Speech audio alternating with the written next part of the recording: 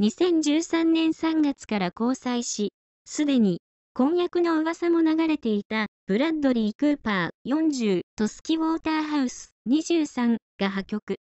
関係者が語った話としてピープル氏が明らかにしたもので、複数紙が報じている。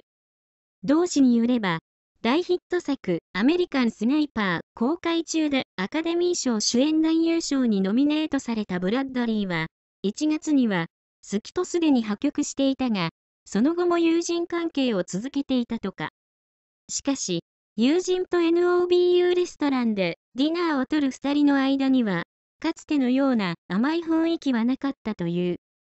破局の原因は明らかになっていないが、明日、ウィークリー誌に関係者が語った話では、二人の多忙なスケジュールによるすれ違いが原因だという。ブラッドリーは、3年連続でアカデミー賞にノミネートされ、また、ブロードウェイの舞台に立つなど、キャリアは絶好調だったが、多忙を極めていた。私生活では、2006年に女優のジェニファー・エスポジートと結婚したが、2007年10月に離婚。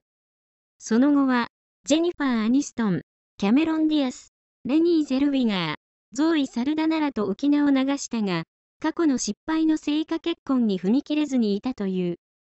しかし、好きに出会ったことで、ブラッドリーの気持ちも変わり、結婚病読みとまで言われていた。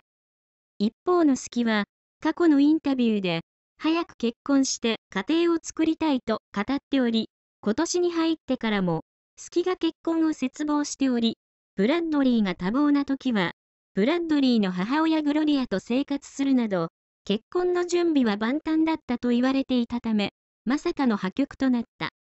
ここ数日、スキが、英防具誌4月号で、ショーツだけのトップレス姿を披露したり、GQ 誌4月号では、骨盤まで、カットされた伝部丸出しのハイレグ姿や、自ら押さえつけたタンクトップから乳首が露出したショットなど、大胆な姿を披露していることが話題となっていたが、過去への決別の意味があったのかもしれない。